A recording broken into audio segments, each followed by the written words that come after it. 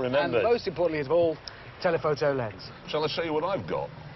Yes? I haven't bothered with any of that. I've just gone for the telephoto, not one of yours, but that. This is all I've got. That's all you need. Well, that is literally it. Yeah, that's all you need. Well, are you going to photograph animals in this country? That's, I- just, that's a pervert camera. No, it's a Daily Mail camera is what it is. Exactly. Well, that's what I meant. Heavy. Yeah, I bet it is. It's a lot of glass. Clear this away. Let me show you.